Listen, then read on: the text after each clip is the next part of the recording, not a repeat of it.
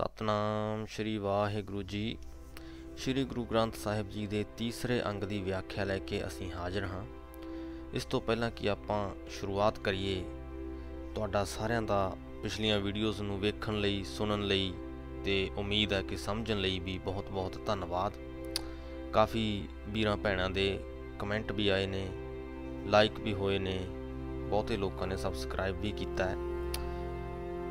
ਖੁਸ਼ੀ ਹੁੰਦੀ ਹੈ ਜਦੋਂ ਲੋਕ ਚੰਗੇ ਪਾਸੇ ਵੱਲ ਨੂੰ ਤੁਰਦੇ ਨੇ, ਚੰਗੇ ਪਾਸੇ ਵੱਲ ਨੂੰ ਜੁੜਦੇ ਨੇ। ਤੇ ਹੁਣ ਆਪਾਂ ਅੱਗੇ ਚੱਲਣ ਤੋਂ ਪਹਿਲਾਂ ਥੋੜੀ ਪਿੱਛੇ ਝਾਤੀ ਮਾਰ ਲਈਏ ਤਾਂ ਕਿ ਉਹ ਜੋ ਲੜੀ ਹੈ, ਉਹ ਜੁੜ ਜਾਵੇ। ਸ੍ਰੀ ਗੁਰੂ ਗ੍ਰੰਥ ਸਾਹਿਬ ਜੀ ਦੇ ਦੂਸਰੇ ਅੰਗ ਦੀ ਵਿਆਖਿਆ ਕੁਝ ਇੱਥੇ ਤੱਕ ਸਮਾਪਤ ਹੋਈ ਸੀ ਕਿ ਜੋ ਇਨਸਾਨ ਪ੍ਰਭੂ ਦੇ ਨਾਮ ਨਾਲ ਜੁੜ ਜਾਂਦਾ ਹੈ, ਜੋ ਉਹਦੀ ਸਿਫਤ ਸਲਾਹ ਸੁਣਨ ਲੱਗਦਾ ਹੈ, ਜਿਉਂ-ਜਿਉਂ ਅਸੀਂ ਉਸ ਅਕਾਲ ਪੁਰਖ ਦੀਆਂ ਪ੍ਰਾਪਤੀਆਂ, ਉਸ ਦੀਆਂ ਕਾਰਗੁਜ਼ਾਰੀਆਂ ਬਾਰੇ ਜਾਣਨ ਲੱਗਦੇ ਹਾਂ। ਸਾਡੇ ਗਿਆਨ ਦਾ ਸਰੋਤ ਹੈ ਜੋ ਉਹ ਵੱਧ ਜਾਂਦਾ ਹੈ, ਸਾਡੀ ਸੋਚਣ ਸ਼ਕਤੀ ਹੈ ਜੋ ਉਹ ਖੁੱਲ ਜਾਂਦੀ ਹੈ। ਸਾਨੂੰ ਦੁਨੀਆ ਦੇ ਜ਼ਿੰਦਗੀ ਦੇ ਫਲਸਫੇ ਸਮਝ ਆਉਣੇ ਸ਼ੁਰੂ ਹੋ ਜਾਂਦੇ ਹਨ ਤੇ ਜੋ ਅਸੀਂ ਦੁਨਿਆਵੀ ਵਿਕਾਰਾਂ ਵਿੱਚ ਫਸੇ ਵੀ ਹੁੰਨੇ ਆ, ਤਾਂ ਉਹਨਾਂ ਵਿੱਚੋਂ ਨਿਕਲਣੇ ਸ਼ੁਰੂ ਹੋ ਜਾਂਦੇ ਆ। ਸਾਡੀ ਜਿਹੜੀ ਬੋਲੀ ਹੈ ਉਹ ਬਦਲ ਜਾਂਦੀ ਹੈ। ਅਸੀਂ ਨਿੰਦਿਆ ਚੁਗਲੀ ਤੋਂ ਇੱਕ ਸਿਫਤ ਸਲਾਹ ਵਾਲੀ ਬੋਲੀ ਤੱਕ ਪਹੁੰਚ ਜਾਂਦੇ ਆ ਸਾਡੇ ਹਿਰਦਿਆਂ ਦੇ ਅੰਦਰ ਖੁਸ਼ੀ ਦੀ ਲਹਿਰ ਬਣੀ ਰਹਿੰਦੀ ਹੈ ਤੇ ਹੁਣ ਆਪਾਂ ਇਸੇ ਗੱਲ ਨੂੰ ਅੱਗੇ ਵਧਾਉਨੇ ਆ ਤੇ ਸ੍ਰੀ ਗੁਰੂ ਗ੍ਰੰਥ ਸਾਹਿਬ ਜੀ ਦੇ ਤੀਸਰੇ ਅੰਗ ਦੀ ਵਿਆਖਿਆ ਸ਼ੁਰੂ ਕਰਦੇ ਹਾਂ। ਤੀਸਰੇ ਅੰਗ ਦੀ ਪਹਿਲੀ ਪੰਕਤੀ ਹੈ, ਸੁਣਿਆ ਸਤ ਸੰਤੋਖ ਗਿਆਨ, ਸੁਣਿਆ 68 ਕਾ ਇਸ਼ਨਾਨ, ਸੁਣਿਆ ਪੜ ਪੜ ਪਾਵੈ ਮਾਨ, ਸੁਣਿਆ ਲਾਗੈ ਸਹਿਜ ਧਿਆਨ, ਨਾਨਕ ਭਗਤਾ ਸਦਾ ਵਿਗਾਸ ਸੁਣਿਆ ਦੁਖ ਪਾਪ ਕਾ ਨਾਸ। ਇਸ ਪੰਕਤੀ ਦਾ ਅਰਥ ਹੈ ਕਿ ਪ੍ਰਭੂ ਦਾ, ਪਰਮਾਤਮਾ ਦਾ ਅਕਾਲ ਪੁਰਖ ਦਾ ਨਾਮ ਸੁਣਨ ਨਾਲ ਮਨੁੱਖ ਦੇ ਹਿਰਦੇ ਅੰਦਰ ਸਤ ਸੰਤੋਖ ਤੇ ਗਿਆਨ ਪੈਦਾ ਹੋ ਜਾਂਦਾ ਹੈ। ਸਤ ਮਤਲਬ ਕਿ ਸੱਚ ਸੱਚ ਬੋਲਣ ਦੀ ਸ਼ਕਤੀ ਆ ਜਾਂਦੀ ਹੈ। ਸੰਤੋਖ ਮਤਲਬ ਕਿ ਸਬਰ ਆ ਜਾਂਦਾ ਹੈ ਤੇ ਗਿਆਨ ਦਾ ਮਤਲਬ ਕਿ ਗਿਆਨ ਆ ਜਾਂਦਾ ਹੈ। ਤੇ ਸੁਣਿਆ 68 ਕਾ ਇਸ਼ਨਾਨ, ਪ੍ਰਭੂ ਦਾ ਨਾਮ ਸੁਣਨ ਨਾਲ ਹੀ ਸਾਨੂੰ 18 ਤੀਰਥਾਂ ਦੇ ਇਸ਼ਨਾਨ ਬਰਾਬਰ ਦੀ ਜਿਹੜੀ ਪ੍ਰਾਪਤੀ ਹੈ, ਉਹ ਹੋ ਜਾਂਦੀ ਹੈ। ਤੀਰਥਾਂ ਦਾ ਜਿਹੜਾ ਇਸ਼ਨਾਨ ਹੈ, ਜਦੋਂ ਉਹਦੀ ਗੱਲ ਆਉਂਦੀ ਹੈ, ਤਾਂ ਅਕਸਰ ਆਪਾਂ ਸੋਚਦੇ ਆਂ ਕਿ ਆਪਾਂ ਕਿਸੇ ਤੀਰਥ ਤੇ ਇਸ਼ਨਾਨ ਤੇ ਜਾਂਦੇ ਆਂ ਉੱਥੋਂ ਦੀ ਪਾਣੀ ਵਿੱਚ, ਉਸ ਸਰੋਵਰ ਵਿੱਚ ਜਾਂ ਉਸ ਨਦੀ ਦੇ ਵਿੱਚ ਨਹਾ ਕੇ ਅਸੀਂ ਪਵਿੱਤਰ ਹੋ ਜਾਂਦੇ ਆਂ ਸਾਡੇ ਪਾਪ ਧੁਲ ਜਾਂਦੇ ਆ। ਜਦਕਿ ਅਜਿਹਾ ਨਹੀਂ ਹੈ ਕਿ ਸਿਰਫ ਉਸ ਪਾਣੀ ਵਿੱਚ ਨਹਾਉਣ ਨਾਲ ਸਾਡੇ ਪਾਪ ਧੁਲ ਜਾਂਦੇ ਆ। ਅਸਲ ਗੱਲ ਇਹ ਹੈ ਕਿ ਜਦੋਂ ਅਸੀਂ ਆਪਾਂ ਤੀਰਥਾਂ ਤੇ ਜਾਂਦੇ ਆ ਅਸੀਂ ਆਪਦੀ ਇੱਕ ਜੋ ਘੇਰਾ ਹੁੰਦਾ ਹੈ ਕਿ ਅਸੀਂ ਆਪਦੇ ਪਿੰਡ 'ਚ ਰਹਿੰਦੇ ਆ ਜਾਂ ਆਪਣੇ ਸ਼ਹਿਰ 'ਚ ਰਹਿੰਦੇ ਆ ਅਸੀਂ ਉਸ ਘੇਰੇ 'ਚੋਂ ਬਾਹਰ ਨਿਕਲਦੇ ਆ ਸਾਨੂੰ ਇੱਕ ਬਾਹਰੀ ਦੁਨੀਆ ਦਾ ਅਹਿਸਾਸ ਹੁੰਦਾ ਹੈ। ਉਸ ਸਫ਼ਰ ਦੇ ਦੌਰਾਨ ਅਸੀਂ ਅਨੇਕਾਂ ਲੋਕਾਂ ਨੂੰ ਮਿਲਦੇ ਆ ਉਹਨਾਂ ਦੀਆਂ ਦੁੱਖ ਤਕਲੀਫਾਂ ਦਾ ਪਤਾ ਲੱਗਦਾ ਹੈ। ਦੁਨੀਆ ਦਾ ਪਤਾ ਲੱਗਦਾ ਹੈ ਕਿ ਦੁਨੀਆ ਕਿੱਥੇ ਕੁ ਪਹੁੰਚੀ ਹੋਈ ਹੈ। ਅਲੱਗ-ਅਲੱਗ ਤਰ੍ਹਾਂ ਦੇ ਵਿਚਾਰ ਸਾਨੂੰ ਸੁਣਨ ਨੂੰ ਮਿਲਦੇ ਨੇ। ਤਾਂ ਇਹਦੇ ਨਾਲ ਆਪਣੀ ਸੋਚ ਦਾ ਘੇਰਾ ਵੱਡਾ ਹੁੰਦਾ ਹੈ। ਸਾਨੂੰ ਆਪਣੇ ਵਿੱਚ ਪਏ ਹੋਏ ਵਿਕਾਰਾਂ ਦੀ ਸਮਝ ਆਉਂਦੀ ਹੈ ਤਾਂ ਅਸੀਂ ਉਹਨਾਂ ਵਿਕਾਰਾਂ ਨੂੰ ਦੂਰ ਕਰਨ ਦੀ ਕੋਸ਼ਿਸ਼ ਕਰਦੇ ਹਾਂ। ਅਸਲੀ ਮਕਸਦ ਉਹਨਾਂ ਤੀਰਥਾਂ ਦਾ ਇਹ ਹੁੰਦਾ ਹੈ ਤੇ ਇੱਥੇ ਗੁਰੂ ਨਾਨਕ ਦੇਵ ਜੀ ਕਹਿੰਦੇ ਨੇ ਕਿ ਸੁਣਿਆ 68 ਕਾ ਇਸ਼ਨਾਨ ਕਿ ਉਹ ਜੋ ਪ੍ਰਾਪਤੀ ਹੈ, ਜੋ ਗਿਆਨ ਅਸੀਂ 18 ਤੀਰਥਾਂ ਦੇ ਇਸ਼ਨਾਨ ਤੋਂ ਲੈਣਾ ਹੈ, ਉਹ ਸਾਨੂੰ ਪਰਮਾਤਮਾ ਦਾ ਨਾਮ ਸੁਣ ਕੇ ਹੀ ਮਿਲ ਜਾਣਾ ਹੈ। ਅੱਗੇ ਕਿ ਸੁਣਿਆ ਪੜ ਪੜ ਪਾਵੈ ਮਾਣ ਕਿ ਜਦੋਂ ਇਨਸਾਨ ਪਰਮਾਤਮਾ ਦੇ ਨਾਮ ਨਾਲ ਜੁੜਦਾ ਜਾਂਦਾ ਹੈ, ਤਾਂ ਉਸ ਨੂੰ ਜੋ ਦੁਨਿਆਵੀ ਮਾਨ ਸਨਮਾਨ ਹੈ, ਜੋ ਦੁਨੀਆ ਦੇ ਵਿੱਚ ਅਸੀਂ ਇੱਕ ਇੱਛਾ ਰੱਖਦੇ ਹਾਂ ਕਿ ਸਾਡਾ ਮਾਨ ਸਨਮਾਨ ਹੋਵੇ, ਉਹਦੇ ਤੋਂ ਉੱਪਰ ਉੱਠ ਜਾਂਦਾ ਹੈ। ਉਹਦੇ ਨਾਲ ਫ਼ਰਕ ਨਹੀਂ ਪੈਂਦਾ। ਕਿ ਸੁਣਿਆ ਲੱਗਾ ਸਹਿਜ ਧਿਆਨ ਕਿ ਮਨ ਜਿਹੜਾ ਹੈ, ਅਜਿਹੀ ਸਹਿਜ ਅਵਸਥਾ ਦੇ ਵਿੱਚ, ਅਜਿਹੀ ਸਥਿਰ ਅਵਸਥਾ ਦੇ ਵਿੱਚ ਪਹੁੰਚ ਜਾਂਦਾ ਹੈ ਕਿ ਸਾਨੂੰ ਦੁਨਿਆਵੀ ਮਾਨ ਆਦਰ ਦੀ ਪਰਵਾਹ ਨਹੀਂ ਰਹਿੰਦੀ। ਤੇ ਲਾਸਟ ਦੋ ਪੰਕਤੀਆਂ ਉਹੀ ਕਿ ਨਾਨਕ ਭਗਤਾ ਸਦਾ ਵਿਗਾਸ ਸੁਣਿਆ ਦੁਖ ਪਾਪ ਕਾ ਨਾਸ। ਇਹ ਵਾਰ-ਵਾਰ ਰਿਪੀਟ ਹੁੰਦੀ ਆ ਰਹੀਆਂ ਨੇ ਇਹ ਪੰਕਤੀਆਂ। ਇਹਨਾਂ ਦਾ ਅਰਥ ਹੈ ਕਿ ਨਾਮ ਸਿਮਰਨ ਨਾਲ ਸਾਡੇ ਦਿਲ ਦੇ ਵਿੱਚ, ਸਾਡੇ ਮਨਾਂ ਦੇ ਵਿੱਚ ਖੁਸ਼ੀ ਰਹਿੰਦੀ ਹੈ ਤੇ ਸਾਡੇ ਦੁੱਖਾਂ ਪਾਪਾਂ ਦਾ ਜਿਹੜਾ ਹੈ ਉਹ ਨਾਸ਼ ਹੋ ਜਾਂਦਾ ਹੈ। ਤੇ ਉਹ ਨਾਸ਼ ਕਿਵੇਂ ਹੁੰਦਾ ਹੈ? ਕਿ ਸਾਨੂੰ ਗਿਆਨ ਆ ਜਾਂਦਾ ਹੈ, ਸਾਨੂੰ ਆਪਣੀਆਂ ਸਮੱਸਿਆਵਾਂ ਦੀ ਸਮਝ ਆ ਜਾਂਦੀ ਹੈ ਤੇ ਉਹਨਾਂ ਨੂੰ ਹੱਲ ਕਰਨ ਦੀ ਵਿਰਤੀ ਆ ਜਾਂਦੀ ਹੈ।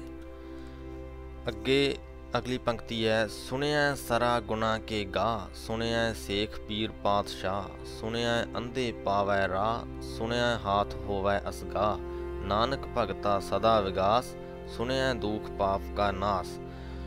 ਸੁਣਿਆ ਸਰਾ ਗੁਨਾ ਕੇ ਗਾ, ਸਰਾ ਦਾ ਮਤਲਬ ਸਰੋਵਰ, ਕਿ ਜਦੋਂ ਅਸੀਂ ਪਰਮਾਤਮਾ ਦਾ ਨਾਮ ਸੁਣਦੇ ਹਾਂ ਤਾਂ ਅਸੀਂ ਗੁਣਾਂ ਦੇ, ਬੇਅੰਤ ਗੁਣਾਂ ਦੇ ਸਮੁੰਦਰ ਦੇ ਵਿੱਚ ਡੁਬਕੀਆਂ ਲਾਉਂਦੇ ਆ ਤਾਂ ਪਰਮਾਤਮਾ ਦਾ ਨਾਮ ਸਿਮਰਨ ਬੇਅੰਤ ਗੁਣਾਂ ਦੇ ਸਮੁੰਦਰ ਦੇ ਵਿੱਚ ਤੈਰਨ ਬਰਾਬਰ ਹੈ। ਤੇ ਜਦੋਂ ਅਸੀਂ ਤੈਰਾਂਗੇ, ਜੇ ਅਸੀਂ ਆਮ ਸਮੁੰਦਰ ਦੇ ਵਿੱਚ ਤੈਰੀਏ ਤਾਂ ਅਸੀਂ ਗਿੱਲੇ ਹੋ ਜਾਂਦੇ ਆ ਤਾਂ ਅਸੀਂ ਉੱਥੋਂ ਦੀ ਇੱਕ ਜੋ ਪਾਣੀ ਹੈ ਉਹ ਆਪਦੇ ਅੰਦਰ ਸਮਾ ਲੈਂਦੇ ਆ ਉਸੇ ਤਰ੍ਹਾਂ ਜੇ ਗੁਣਾਂ ਦੇ ਸਮੁੰਦਰ ਵਿੱਚ ਅਸੀਂ ਡੁਬਕੀਆਂ ਲਾਵਾਂਗੇ, ਤਾਰੀਆਂ ਲਾਵਾਂਗੇ, ਤਾਂ ਜ਼ਾਹਿਰ ਜੀ ਗੱਲ ਹੈ ਕਿ ਸਾਡੇ ਅੰਦਰ ਕੁਝ ਗੁਣ ਸਮਾ ਜਾਣਗੇ।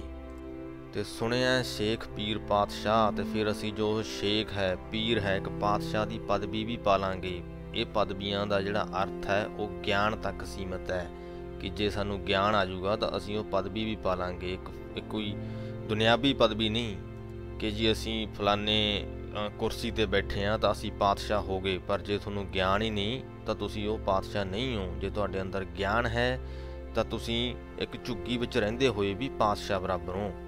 ਸੁਣਿਆ, ਅੰਧੇ ਪਾਵੈ ਰਾਹ ਕਿ ਗਿਆਨ ਸੁਣਨ ਨਾਲ, ਪ੍ਰਮਾਤਮਾ ਦਾ ਨਾਮ ਸਿਮਰਨ ਨਾਲ ਅੰਨਿਆਂ ਨੂੰ ਵੀ ਰਾਹ ਦਿਖ ਜਾਂਦਾ ਹੈ। ਇੱਥੇ ਵੀ ਜੋ ਅੰਨਾ ਹੈ, ਉਹ ਅੱਖਾਂ ਤੋਂ ਅੰਨੇ ਦੀ ਗੱਲ ਨਹੀਂ ਹੋ ਰਹੀ। ਇੱਥੇ ਵੀ ਗਿਆਨ ਤੋਂ ਅੰਨੇ ਮਨੁੱਖ ਦੀ ਗੱਲ ਹੋ ਰਹੀ ਹੈ ਕਿ ਜਿਸ ਮਨੁੱਖ ਨੂੰ ਗਿਆਨ ਹੀ ਨਹੀਂ ਹੈ, ਉਹ ਅੰਨਾ ਹੈ। ਉਹਨੂੰ ਗਿਆਨ ਆ ਜਾਂਦਾ ਹੈ ਤਾਂ ਉਹਨੂੰ ਅੱਖਾਂ ਹੀ ਮਿਲ ਜਾਂਦੀਆਂ ਨੇ ਇੱਕ ਤਰ੍ਹਾਂ ਦੀਆਂ। ਉਹਨੂੰ ਇੱਕ ਜ਼ਿੰਦਗੀ ਦੀ ਅਸਲੀਅਤ ਸਮਝ ਦੇ ਵਿੱਚ ਆ ਜਾਂਦੀ ਹੈ, ਜ਼ਿੰਦਗੀ ਦੇ ਫਲਸਫੇ ਸਮਝ ਚ ਆ ਜਾਂਦੇ ਨੇ। ਤਾਂ ਸਾਰੀ ਗੱਲ ਹੈ ਜੋ ਉਹ ਗਿਆਨ ਤੇ ਟਿਕੀ ਹੈ। ਜੇ ਸਾਨੂੰ ਗਿਆਨ ਆ ਜਾਂਦਾ ਹੈ, ਤਾਂ ਅਸੀਂ ਅੰਨੇ ਤੋਂ ਸਜਾਖੇ ਵੀ ਹੋ ਜਾਂਦੇ ਹਾਂ। ਜ਼ਿੰਦਗੀ ਦਾ ਜਿਹੜਾ ਅਸਲੀ ਮਕਸਦ ਹੈ, ਉਹ ਸਾਨੂੰ ਸਮਝ ਚ ਆ ਜਾਂਦਾ ਹੈ। ਅਗਲੀਆਂ ਕੁਝ ਪੌੜੀਆਂ ਦੇ ਵਿੱਚ ਮੰਨੈ ਸ਼ਬਦ ਦਾ ਅਰਥ ਜੋ ਹੈ, ਇਸਤੇਮਾਲ ਕਾਫੀ ਜ਼ਿਆਦਾ ਹੋਇਆ ਹੈ। ਤੇ ਇਹਦਾ ਅਰਥ ਹੈ ਮੰਨਣ ਵਾਲਾ ਕਿ ਜੋ ਇਨਸਾਨ ਪਰਮਾਤਮਾ ਦੇ ਵਿੱਚ, ਉਸ ਅਕਾਲ ਪੁਰਖ ਦੇ ਵਿੱਚ ਯਕੀਨ ਰੱਖਦਾ ਹੈ ਉਸ ਨੂੰ ਮੰਨੈ ਕਿਹਾ ਗਿਆ ਹੈ। ਕਿ ਮੰਨੇ ਕੀ ਗਤ ਕਹੀ ਨਾ ਜਾਏ, ਜੇ ਕੋ ਕਹੈ ਪਿਛੈ ਪਛਤਾਏ, ਕਾਗਦ ਕਲਮ ਨਾ ਲਿਖਨ ਹਾਰ, ਮੰਨੇ ਕਾਬੈ ਕਰਨ ਵਿਚਾਰ, ਐਸਾ ਨਾਮ ਨਰੰਜਨ ਸੋਏ, ਜੇ ਕੋ ਮਨ ਜਾਣੈ ਮਨ ਕੋਏ। ਗਤ ਸ਼ਬਦ ਦਾ ਜਿਹੜਾ ਅਰਥ ਹੈ, ਉਹ ਹੈਗੀ ਆ ਅਵਸਥਾ। ਇੱਕ ਅਤਿਅੰਤ ਗਿਆਨ ਦੀ ਅਵਸਥਾ, ਕਿ ਮੰਨੇ ਕੀ ਗਤ ਕਹੀ ਨਾ ਜਾਏ, ਕਿ ਜੋ ਪ੍ਰਮਾਤਮਾ ਵਿੱਚ ਯਕੀਨ ਰੱਖਣ ਵਾਲਾ ਮਨੁੱਖ ਹੈ, ਉਹਦੀ ਗਿਆਨ ਦੀ ਜਿਹੜੀ ਅਵਸਥਾ ਹੈ, ਉਹ ਕਹੀ ਨਹੀਂ ਜਾ ਸਕਦੀ। ਉਹ ਬਿਆਨ ਨਹੀਂ ਕੀਤੀ ਜਾ ਸਕਦੀ। ਉਹ ਇੱਕ ਅਜਿਹੀ ਗਿਆਨ ਦੀ ਅਵਸਥਾ ਦੇ ਵਿੱਚ ਪਹੁੰਚ ਜਾਂਦਾ ਹੈ ਕਿ ਜਿਸ ਨੂੰ ਸ਼ਬਦਾਂ ਦੇ ਵਿੱਚ ਉਕਾਰਨਾ ਬਹੁਤ ਮੁਸ਼ਕਲ ਹੈ। ਜੇ ਕੋ ਕਹੈ ਪਿੱਛੇ ਪਛਤਾਏ ਤੇ ਜੇ ਕੋਈ ਇਨਸਾਨ ਉਸ ਨੂੰ ਵਿਚਾਰ ਕਰਨ ਦੀ ਉਸ ਨੂੰ ਬਿਆਨ ਕਰਨ ਦੀ ਕੋਸ਼ਿਸ਼ ਵੀ ਕਰਦਾ ਹੈ, ਤਾਂ ਉਹ ਵੀ ਪਿੱਛੋਂ ਪਛਤਾਉਂਦਾ ਹੈ ਕਿ ਮੈਂ ਇਹ ਕੀ ਹੋਸ਼ੀ ਕੋਸ਼ਿਸ਼ ਕਰ ਰਿਹਾ ਸੀ। ਜੇ ਆਪਾਂ ਇੱਕ ਉਦਾਹਰਣ ਦੇ ਤੌਰ ਤੇ ਇਹਨੂੰ ਸਮਝਣ ਦੀ ਕੋਸ਼ਿਸ਼ ਕਰੀਏ ਕਿ ਜੇ ਇੱਕ ਇਨਸਾਨ ਦੇ ਜਿਹੜਾ ਵਿੱਤ ਹੈ, ਉਹਦੀ ਜਿਹੜੀ ਸਮਰੱਥਾ, ਉਹ 20 ਕਿਲੋ ਭਾਰ ਚੁੱਕਣ ਦੀ ਹੈ ਤੇ ਉਹ ਕੋਈ 100 ਕਿਲੋ ਭਾਰ ਚੁੱਕਣ ਦੀ ਕੋਸ਼ਿਸ਼ ਕਰੇ ਤੇ ਕੋਈ ਚੋਟ ਖਾ ਬੈਠੇ ਤਾਂ ਉਹ ਪਿੱਛੋਂ ਪਛਤਾਉਂਦਾ ਹੈ ਕਿ ਯਾਰ ਮੇਰੀ ਜਿਹੜੀ ਸਮਰੱਥਾ ਸੀ, ਉਹਦੇ ਤੋਂ ਮੈਂ ਬਹੁਤ ਅਧਿਕ ਕੁਝ ਕਰਨ ਦੀ ਕੋਸ਼ਿਸ਼ ਕਰ ਰਿਹਾ ਸੀ। ਉਸੇ ਤਰ੍ਹਾਂ ਜੇ ਆਪਾਂ ਪਰਮਾਤਮਾ ਦੇ ਵਿੱਚ ਯਕੀਨ ਰੱਖਣ ਵਾਲੇ ਮਨੁੱਖ ਦੀ ਜਿਹੜੀ ਉਹ ਇੱਕ ਅਵਸਥਾ ਹੈ ਮਾਨਸਿਕ ਤੇ ਗਿਆਨ ਦੀ ਅਵਸਥਾ ਨੂੰ ਬਿਆਨ ਕਰਨ ਦੀ ਕੋਸ਼ਿਸ਼ ਜੇ ਕੋਈ ਇਨਸਾਨ ਕਰਦਾ ਹੈ, ਤਾਂ ਉਹ ਵੀ ਪਛਤਾਉਂਦਾ ਹੈ ਕਿ ਉਹ ਇੱਕ ਬਹੁਤ ਵੱਡਾ ਜਿਹੜਾ ਕੰਮ ਹੈ ਉਹ ਕਰਨ ਲੱਗਿਆ ਸੀ, ਜਿਹੜਾ ਉਹਦੇ ਬੱਸੋਂ ਬਾਹਰ ਹੈ। ਕਾਗਜ਼ ਕਲਮ ਨਾ ਲਿਖਣਹਾਰ ਕਿ ਕਾਗਜ਼ ਕਲਮ ਦੇ ਉੱਤੇ ਉਹਨੂੰ ਲਿਖਿਆ ਨਹੀਂ ਜਾ ਸਕਦਾ। ਮੰਨੇ ਕਾਬੈ ਕਰਨ ਵਿਚਾਰ। ਕਿ ਜੇ ਕੁਝ ਮਨੁੱਖ ਬੈਠ ਕੇ ਵੀ ਉਸ ਇਨਸਾਨ ਦੀ ਅਵਸਥਾ ਦੀ ਵਿਚਾਰ ਕਰਨ, ਤਾਂ ਵੀ ਉਹ ਕਲਮ ਦੇ ਨਾਲ ਕਾਗਜ਼ ਦੇ ਉੱਤੇ ਉਸ ਅਵਸਥਾ ਨੂੰ ਲਿਖ ਕੇ ਬਿਆਨ ਨਹੀਂ ਕਰ ਸਕਦੇ। ਐਸਾ ਨਾਮ ਨਰੰਜਨ ਹੋਏ, ਜੇ ਕੋ ਮਨ ਜਾਣੈ ਮਨ ਕੋਈ ਕਿ ਪਰਮਾਤਮਾ ਦਾ ਜਿਹੜਾ ਨਾਮ ਹੈ, ਉਹ ਮਾਇਆ ਦੇ ਪ੍ਰਭਾਵ ਤੋਂ ਬਹੁਤ ਉੱਤੇ ਹੈ। ਤੇ ਉਹ ਜਿਹੜੀ ਅਵਸਥਾ ਹੈ, ਉਹਦਾ ਆਨੰਦ ਉਹੀ ਇਨਸਾਨ ਮਾਣ ਸਕਦਾ ਹੈ ਜਿਨੇ ਲਗਨ ਲਾਈ ਹੈ, ਜਿਹੜਾ ਉਸ ਪਰਮਾਤਮਾ ਨਾਲ ਜੁੜਿਆ ਤੇ ਉਸ ਅਵਸਥਾ ਦੇ ਵਿੱਚ ਪਹੁੰਚਿਆ ਉਹੀ ਉਹਦਾ ਮੁੱਲ ਜਾਣਦਾ ਹੈ, ਉਹੀ ਉਹਦਾ ਆਨੰਦ ਲੈ ਸਕਦਾ ਹੈ। ਬਾਹਰੀ ਜਿਹੜੇ ਇਨਸਾਨ ਨੇ, ਉਹਨਾਂ ਨੂੰ ਬਿਆਨ ਕਰਨ ਦੀ ਸਮਰੱਥਾ ਨਹੀਂ ਰੱਖਦੇ। ਅਗਲੀ ਪੌੜੀ ਵਿੱਚ ਫਿਰ ਤੋਂ ਗਿਆਨ ਦੀ ਗੱਲ ਹੋਈ ਹੈ ਕਿ ਮੰਨੈ ਸੁਰਤ ਹੋਵੈ ਮਨ ਬੁੱਧ, ਮੰਨੈ ਸਗਲ ਭਵਨ ਕੀ ਸੁਧ, ਮੰਨੈ ਮੂਹੇ ਚੋਟਾ ਨਾ ਖਾਏ ਮੰਨੈ ਜਮਕੈ ਸਾਥ ਨਾ ਜਾਏ, ਐਸਾ ਨਾਮ ਨਿਰੰਜਨ ਹੋਏ, ਜੇ ਕੋ ਮਨ ਜਾਣੈ ਮਨ ਕੋਏ। ਕਿ ਪਰਮਾਤਮਾ ਦੇ ਨਾਮ ਨਾਲ ਜੁੜਨ ਵਾਲੇ ਇਨਸਾਨ ਦੀ ਜਿਹੜੀ ਬੁੱਧੀ ਹੈ, ਜੋ ਸੁਰਤ ਹੈ, ਉਹ ਜਾਗ ਜਾਂਦੀ ਹੈ। ਉਹ ਗਿਆਨ ਦੀ ਅਵਸਥਾ ਹੈ, ਜੋ ਉਹ ਵੱਧ ਜਾਂਦੀ ਹੈ। ਜਿਹੜਾ ਮਨ ਸਿਰਫ ਦੁਨਿਆਵੀ ਚੀਜ਼ਾਂ ਬਾਰੇ ਸੋਚਦਾ ਰਹਿੰਦਾ ਸੀ ਕਿ ਮੈਂ ਆਹ ਵੀ ਹਾਸਲ ਕਰ ਲਵਾਂ, ਮੈਂ ਉਹ ਵੀ ਹਾਸਲ ਕਰ ਲਵਾਂ, ਉਹ ਉਹਨਾਂ ਚੀਜ਼ਾਂ ਤੋਂ ਉੱਚਾ ਉੱਠ ਜਾਂਦਾ ਹੈ ਤੇ ਉਹਨੂੰ ਦੁਨੀਆ ਦੀਆਂ ਹੋਰਨਾਂ ਜਿਹੜੀਆਂ ਸਥਿਤੀਆਂ ਨੇ, ਉਹਨਾਂ ਬਾਰੇ ਜਾਣਨ ਦੀ ਇੱਛਾ ਪੈਦਾ ਹੋ ਜਾਂਦੀ ਹੈ। ਉਹ ਮਾਇਆ ਦੇ ਪ੍ਰਭਾਵ ਤੋਂ ਉੱਪਰ ਉੱਠ ਕੇ ਸੋਚਣ ਲੱਗ ਜਾਂਦਾ ਹੈ। ਹਰ ਚੀਜ਼ ਦੇ ਵਿੱਚ ਆਪਣਾ ਫਾਇਦਾ ਨਹੀਂ ਦੇਖਣ ਲੱਗਦਾ, ਉਹ ਚੀਜ਼ਾਂ ਵਿਸਰ ਜਾਂਦੀਆਂ ਨੇ। ਸਹੀ ਗਲਤ ਦੀ ਪਛਾਣ ਹੋ ਜਾਂਦੀ ਹੈ। ਮੰਨੈ ਸਗਲ ਭਵਨ ਕੀ ਸੁੱਧ ਕਿ ਉਹਨੂੰ ਸਾਰੇ ਭਾਵਨਾ ਦਾ ਜਿਹੜਾ ਗਿਆਨ ਹੋ ਜਾਂਦਾ ਹੈ, ਸੁੱਧ ਆ ਜਾਂਦੀ ਹੈ। ਇਸ ਗੱਲ ਦਾ ਅਹਿਸਾਸ ਹੋ ਜਾਂਦਾ ਹੈ ਕਿ ਪਰਮਾਤਮਾ ਸ੍ਰਿਸ਼ਟੀ ਦੇ ਕਣ-ਕਣ ਵਿੱਚ ਵਿਆਪਕ ਹੈ। ਹਰ ਥਾਂ ਉਸ ਪਰਮਾਤਮਾ ਨੂੰ ਵੇਖਣ ਲੱਗਦਾ ਹੈ। ਫਿਰ ਭਾਵੇਂ ਉਹ ਚੱਲਦੀ ਹੋਈ ਹਵਾ ਹੋਵੇ, ਪੱਤਿਆਂ ਦੀ ਸਰਸਰਾਹਟ ਹੋਵੇ ਜਾਂ ਕੋਈ ਛੋਟੇ-ਮੋਟੇ ਜੀਵ ਜੰਤੂ ਕੀੜਮ ਕੀੜੇ ਮਕੌੜੇ ਹੋਣ, ਉਹਨਾਂ ਦੀ ਚੱਲਣ ਫਿਰਨ ਉਹਨਾਂ ਦੀ ਤੁਰਨ ਫਿਰਨ ਦੀ ਜਿਹੜੀ ਸਥਿਤੀ ਵੇਖ ਕੇ ਵੀ ਉਹਨੂੰ ਪਰਮਾਤਮਾ ਦਾ ਅਹਿਸਾਸ ਹੁੰਦਾ ਹੈ ਕਿ ਇਹ ਜੋ ਹੋ ਰਿਹਾ ਹੈ, ਇਹ ਪਰਮਾਤਮਾ ਦੀ ਮਰਜ਼ੀ ਨਾਲ ਹੋ ਰਿਹਾ ਹੈ। ਮੰਨੈ ਮੂਹੇ ਚੋਟਾ ਨਾ ਖਾਏ, ਮੰਨੈ ਜਮ ਕੈ ਸਾਥ ਨਾ ਜਾਏ।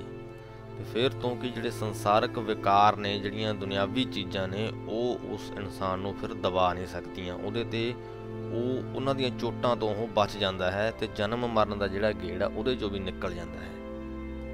ਐਸਾ ਨਾਮ ਨਿਰੰਜਨ ਸੋਏ ਜੇ ਕੋ ਮਨ ਜਾਣੈ ਮਨ ਕੋਏ ਕਿ ਪ੍ਰਭੂ ਦਾ ਜਿਹੜਾ ਨਾਮ ਹੈ ਉਹ ਮਾਇਆ ਤੋਂ ਮਾਇਆ ਦੇ ਪ੍ਰਭਾਵ ਤੋਂ ਬਹੁਤ ਉੱਤੇ ਹੈ ਤੇ ਇਸ ਦਾ ਅਹਿਸਾਸ ਉਹੀ ਮਨੁੱਖ ਮਹਿਸੂਸ ਕਰ ਸਕਦਾ ਹੈ ਜੋ ਉਸ ਦਾ ਪ੍ਰਭੂ ਦੇ ਨਾਮ ਨਾਲ ਜੁੜਿਆ ਹੋਇਆ ਜਿਹਦੀ ਲਗਨ ਉਸ ਪਰਮਾਤਮਾ ਨਾਲ ਲੱਗੀ ਹੋਈ ਹੈ ਮੰਨੈ ਮਾਰਗ ਠਾਕ ਨਾ ਪਾਏ ਮੰਨੈ ਪਤ ਸਿਓ ਪ੍ਰਗਟ ਜਾਏ ਮੰਨੈ ਮਗਨਾ ਚੱਲੈ ਪੰਥ ਮੰਨੈ ਧਰਮ ਸੇਤੀ ਸੰਬੰਧ ਐਸਾ ਨਾਮ ਨਰੰਜਨ ਹੋਏ ਜੇ ਕੋ ਮਨ ਜਾਣੈ ਮਨ ਕੋਏ ਕਿ ਜੋ ਇਨਸਾਨ ਉਸ ਪਰਮਾਤਮਾ ਨਾਲ ਜੁੜ ਜਾਂਦਾ ਹੈ ਉਸ ਦੀ ਜ਼ਿੰਦਗੀ ਦੇ ਵਿੱਚ ਕਿਸੇ ਤਰ੍ਹਾਂ ਦੀ ਰੁਕਾਵਟ ਨਹੀਂ ਆਉਂਦੀ ਉਹਦੀ ਜ਼ਿੰਦਗੀ ਦੇ ਵਿੱਚ ਵਿਚਾਰਾਂ ਦੀ ਕਮੀ ਨਹੀਂ ਪੈਂਦੀ ਤੇ ਆਪਣੇ ਗਿਆਨ ਸਦਕਾ ਆਪਣੇ ਵਿਚਾਰਾਂ ਸਦਕਾ ਉਹ ਇਸ ਦੁਨੀਆ ਤੋਂ ਸ਼ੋਭਾ ਖੱਟ ਕੇ ਜਾਂਦਾ ਹੈ ਤੇ ਉਸ ਮਨੁੱਖ ਨੂੰ ਜਿਹੜਾ ਹੈ ਵੱਖ-ਵੱਖ ਧਰਮਾਂ ਦਾ ਗਿਆਨ ਹੋ ਜਾਂਦਾ ਹੈ। ਉਹਦੇ ਚੋਂ ਇੱਕ ਚੀਜ਼ ਮਿਟ ਜਾਂਦੀ ਹੈ ਕਿ ਇਹ ਧਰਮ ਚੰਗਾ ਹੈ, ਇਹ ਧਰਮ ਮੰਦਾ ਹੈ।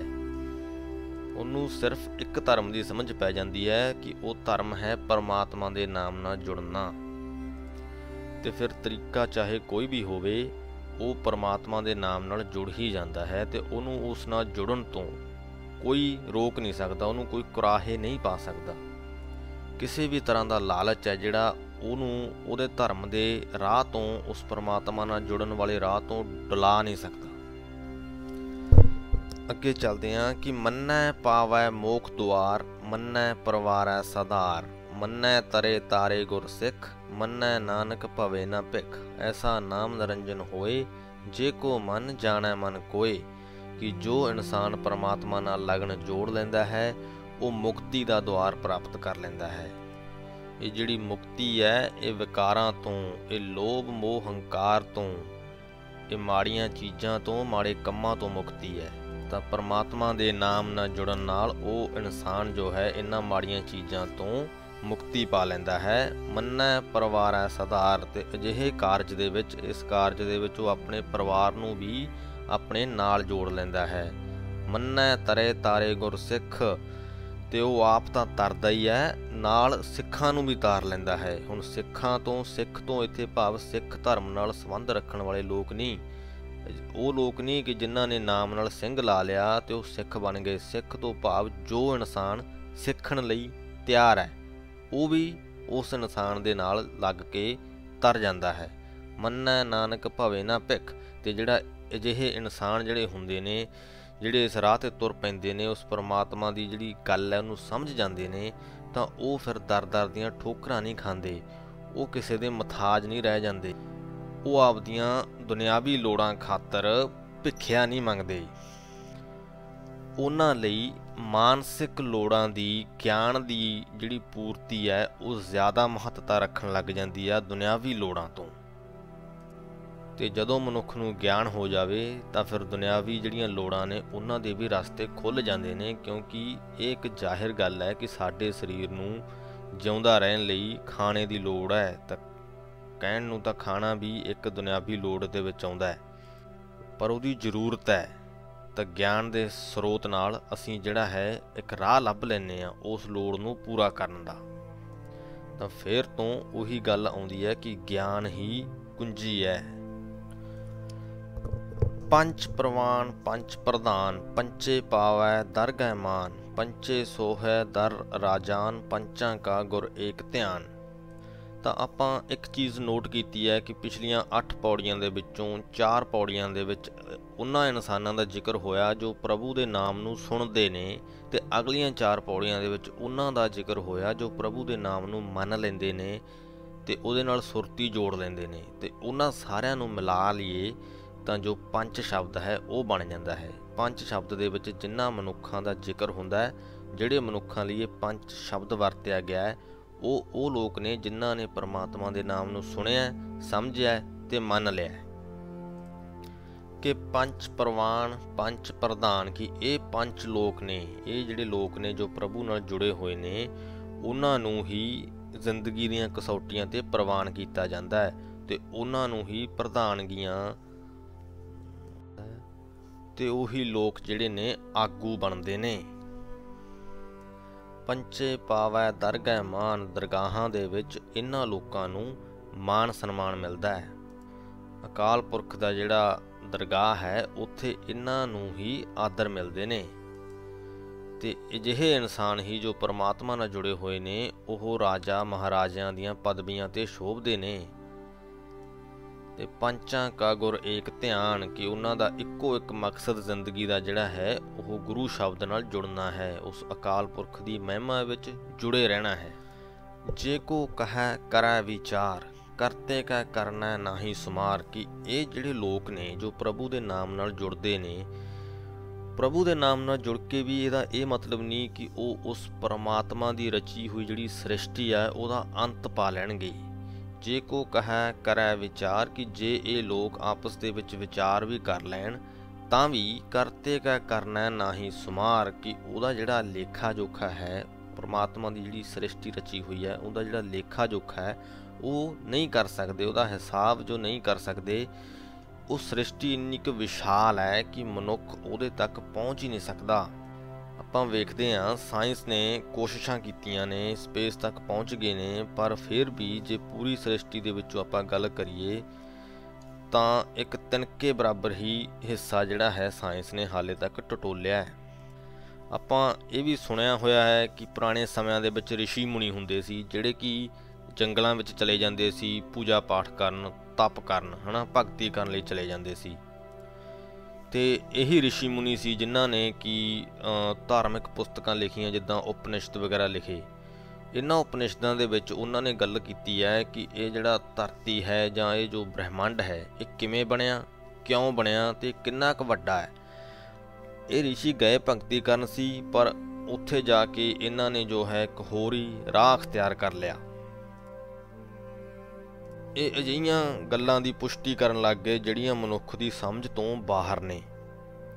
ਤੇ ਇਹਨਾਂ ਗੱਲਾਂ ਦਾ ਹੀ ਨਤੀਜਾ ਇਹ ਸੀ ਕਿ ਲੋਕਾਂ ਨੇ ਇਹ ਮੰਨ ਲਿਆ, ਇਹ ਮਿੱਥ ਬਣਾ ਲਿਆ ਕਿ ਜੋ ਧਰਤੀ ਹੈ, ਉਹ ਇੱਕ ਬਲਦ ਦੇ ਸਿੰਗਾਂ ਤੇ ਟਿਕੀ ਹੋਈ ਹੈ ਤੇ ਇੱਥੇ ਗੁਰੂ ਨਾਨਕ ਦੇਵ ਜੀ ਇਸ ਚੀਜ਼ ਦਾ ਖੰਡਨ ਕਰਦੇ ਆ ਕਿ ਅਜਿਹਾ ਨਹੀਂ ਹੈ ਕਿ ਧਰਤੀ ਕਿਸੇ ਬਲਦ ਦੇ ਸਿੰਗਾਂ ਤੇ ਟਿਕੀ ਆ। ਆਪਾਂ ਵੀ ਸੁਣਿਆ ਆਪਣੇ ਬਚਪਨਾਂ ਦੇ ਵਿੱਚ, ਆਪਾਂ ਵੀ ਇਹ ਗੱਲ ਸੁਣਦੇ ਸੀ ਕਿ ਜਦੋਂ ਭੁਚਾਲ ਆਉਂਦਾ ਹੈ ਤਾਂ ਕੀ ਹੁੰਦਾ ਹੈ ਕਿ ਜੋ ਬਲਦ ਹੈ, ਉਹ ਆਪਦੇ ਇੱਕ ਸਿੰਘ ਤੋਂ ਧਰਤੀ ਚੱਕ ਕੇ ਦੂਸਰੇ ਤੇ ਰੱਖ ਲੈਂਦਾ ਹੈ। ਤਾਂ ਗੁਰੂ ਨਾਨਕ ਦੇਵ ਜੀ ਨੇ ਇੱਥੇ ਇਸ ਗੱਲ ਦੀ ਜਿਹੜੀ ਹੈ, ਖੰਡਨ ਕੀਤਾ ਹੈ ਕਿ ਅਜਿਹਾ ਹੋ ਨਹੀਂ ਸਕਦਾ ਕਿ ਜੋ ਉਸ ਦੀ ਕੁਦਰਤ ਹੈ, ਉਹ ਬਹੁਤ ਬਿਆੰਤ ਹੈ ਤੇ ਆਪਾਂ ਉਹਦੇ ਤੱਕ ਕਦੇ ਨਹੀਂ ਪਹੁੰਚ ਸਕਦੇ।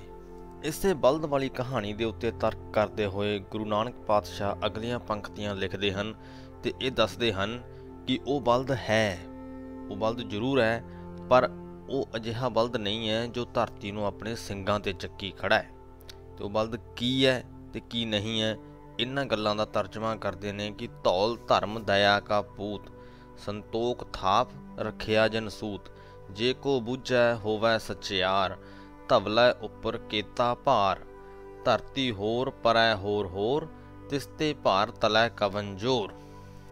ਇਹਨਾਂ ਪੰਕਤੀਆਂ ਦੀ ਵਿਆਖਿਆ ਆਪਾਂ ਪਿੱਛੇ ਤੋਂ ਸ਼ੁਰੂ ਕਰਦੇ ਆਂ ਧਰਤੀ, ਹੋਰ ਪਰੈ, ਹੋਰ ਹੋਰ ਗੁਰੂ ਨਾਨਕ ਦੇਵ ਜੀ ਕਹਿੰਦੇ ਨੇ ਕਿ ਜੇ ਧਰਤੀ ਦਾ ਜਿਹੜਾ ਭਾਰ ਹੈ, ਉਹ ਇੱਕ ਬਲਦ ਨੇ ਆਪਣੇ ਸਿੰਘਾਂ ਉੱਤੇ ਚੱਕਿਆ ਹੋਇਆ ਤਾਂ ਇੱਕ ਜ਼ਾਹਿਰ ਜੀ ਗੱਲ ਹੈ ਕਿ ਆਪਾਂ ਵੇਖਦੇ ਆਂ ਜੀਵ ਜੰਤੂ ਮਨੁੱਖ ਜੋ ਵੀ ਹੈ, ਉਹ ਧਰਤੀ ਦੇ ਉੱਪਰ ਚੱਲਦੇ ਨੇ। ਤਾਂ ਗੁਰੂ ਨਾਨਕ ਦੇਵ ਜੀ ਕੁਐਸਚਨ ਕਰਦੇ ਨੇ, ਪ੍ਰਸ਼ਨ ਕਰਦੇ ਨੇ ਕਿ ਜੇ ਇੱਕ ਬਲਦ ਨੇ ਆਪਣੇ ਸਿੰਘਾਂ ਦੇ ਉੱਤੇ ਧਰਤੀ ਚੱਕੀ ਹੋਈ ਹੈ, ਤਾਂ ਉਸ ਬਲਦ ਨੂੰ ਕਿਸ ਨੇ ਚੱਕਿਆ ਹੋਇਆ ਹੈ? ਉਹ ਬਲਦ ਕਿਸ ਚੀਜ਼ ਦੇ ਉੱਤੇ ਟਿਕਿਆ ਹੋਇਆ ਹੈ?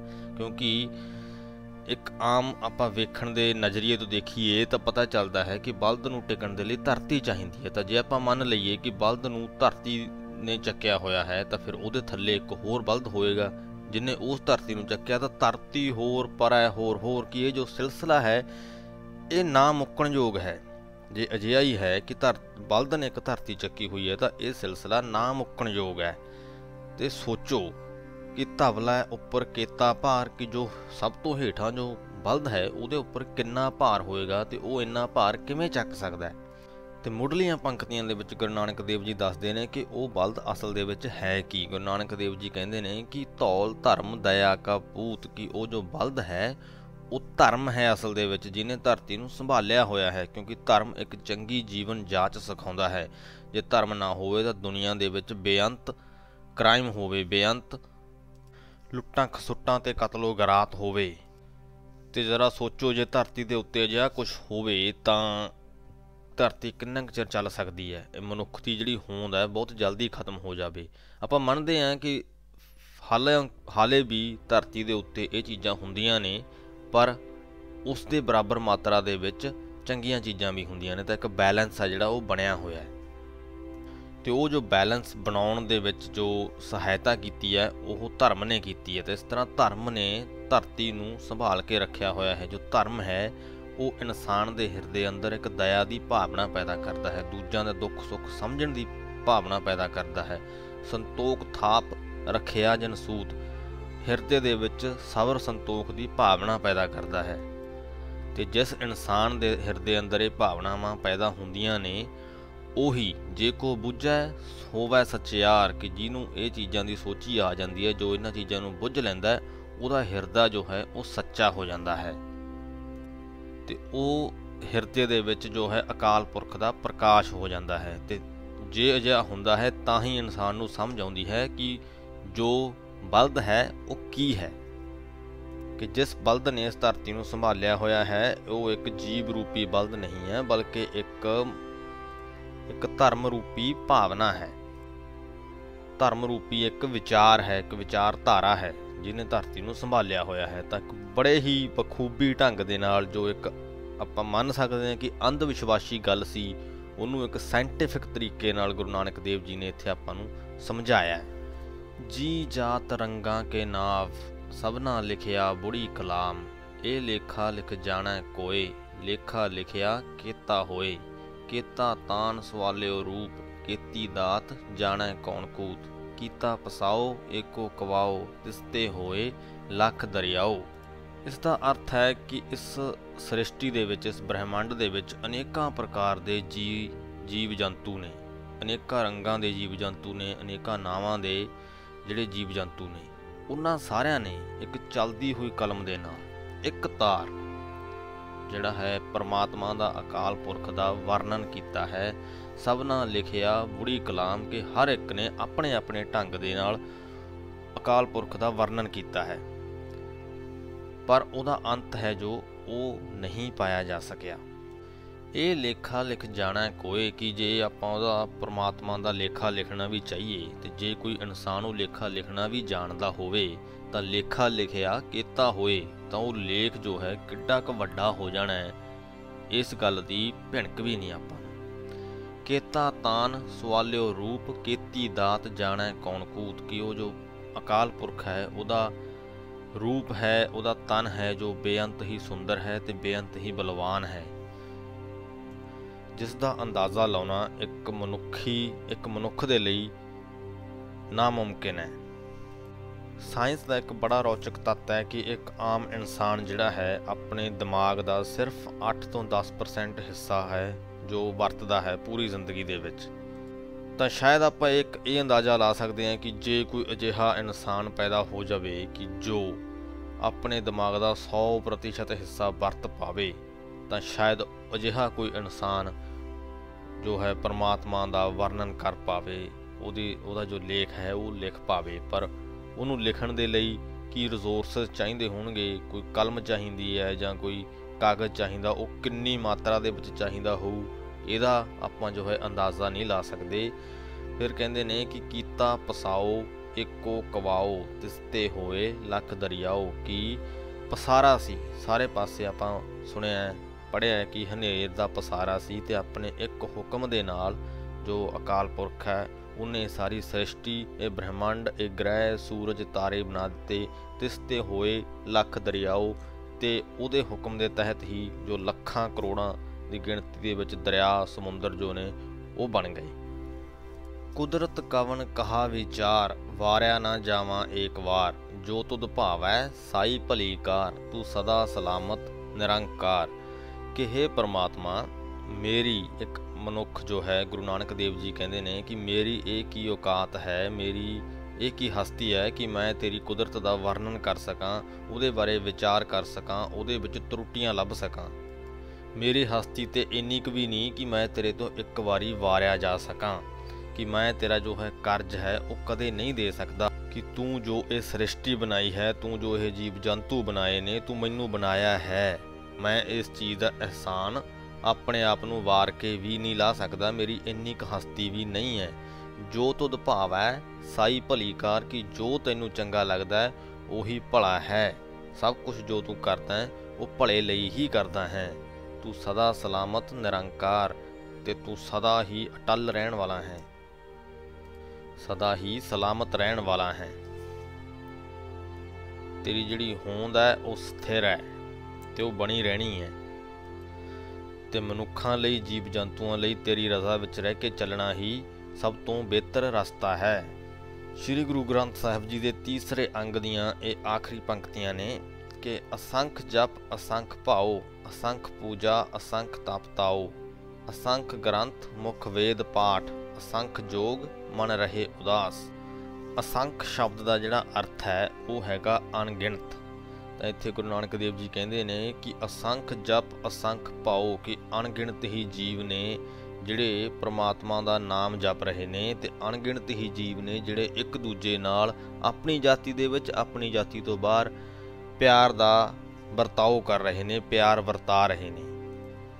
ਅਣਗਿਣਤ ਜੀਵ ਨੇ ਜਿਹੜੇ ਉਹ ਪੂਜਾ ਕਰ ਰਹੇ ਨੇ, ਅਣਗਿਣਤ ਹੀ ਜੀਵ ਨੇ ਜਿਹੜੇ ਤਪ ਕਰ ਰਹੇ ਨੇ, ਜੰਗਲਾਂ ਦੇ ਵਿੱਚ ਰਿਸ਼ੀਆਂ ਮੁਨੀਆਂ ਵਾਂਗ ਕਿ ਸਾਨੂੰ ਪ੍ਰਮਾਤਮਾ ਦੀ ਪ੍ਰਾਪਤੀ ਹੋ ਸਕੇ।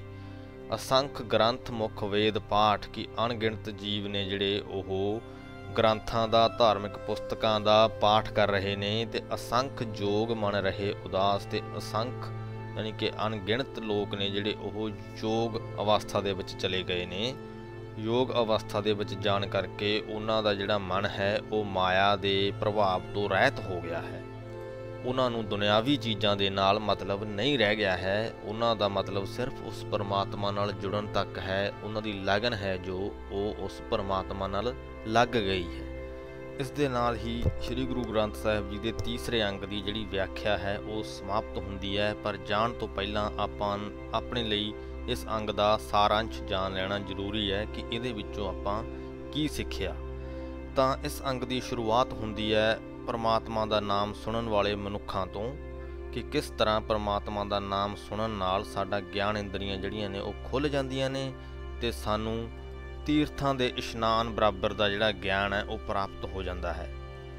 ਤੇ ਉਹ ਗਿਆਨ ਦੀ ਪ੍ਰਾਪਤੀ ਨਾਲ ਅੰਨਿਆਂ ਨੂੰ ਜੋ ਅਕਲੋਂ ਅੰਨੇ ਲੋਕ ਹੁੰਦੇ ਨੇ, ਉਹਨਾਂ ਲਈ ਵੀ ਰਾਹ ਖੁੱਲ ਜਾਂਦੇ ਨੇ, ਉਹਨਾਂ ਨੂੰ ਵੀ ਜੀਵਨ ਦੀ ਜਾਂਚ ਆ ਜਾਂਦੀ। ਫੇਰ ਗੱਲ ਆਉਂਦੀ ਹੈ ਉਸ ਪਰਮਾਤਮਾ ਦਾ ਨਾਮ ਮੰਨਣ ਵਾਲੇ ਲੋਕਾਂ ਦੀ, ਜਿਨ੍ਹਾਂ ਦੀ ਕੀ ਉਸ ਪਰਮਾਤਮਾ ਨਾਲ ਲਗਨ ਲੱਗ ਗਈ ਹੈ ਕਿ ਉਹਨਾਂ ਦੀ ਇੱਕ ਜਿਹੜੀ ਅਵਸਥਾ ਦੀ ਗੱਲ ਹੁੰਦੀ ਹੈ ਕਿ ਉਹ ਇੱਕ ਅਜਿਹੀ ਖੁਸ਼ੀ ਦੀ, ਅਜਿਹੀ ਲਗਨ ਦੀ ਅਵਸਥਾ ਦੇ ਵਿੱਚ ਜਾ ਚੁੱਕੇ ਨੇ, ਜਿੱਥੇ ਪਰਮਾਤਮਾ ਦਾ ਨਾਮ ਹੀ ਉਹਨਾਂ ਲਈ ਸਭ ਕੁਝ ਹੈ। ਉਹਨਾਂ ਨੂੰ, ਉਹਨਾਂ ਦੀ ਜਿਹੜੀ ਸੁਰਤੀ ਹੈ ਉਹ ਪਰਮਾਤਮਾ ਨਾਲ ਜੁੜ ਗਈ ਹੈ। ਉਹਨਾਂ ਨੂੰ ਜ਼ਿੰਦਗੀ ਦੀ ਜਿਹੜੀ ਜਾਂਚ ਹੈ ਉਹ ਆ ਗਈ ਹੈ। ਜ਼ਿੰਦਗੀ ਦੀ ਅਸਲੀਅਤ, ਜ਼ਿੰਦਗੀ ਦੇ ਅਸਲੀ ਮਕਸਦ ਦੀ ਉਹਨਾਂ ਨੂੰ ਜੋ ਹੈ ਚਾਨਣਾ ਹੋ ਗਈ ਹੈ।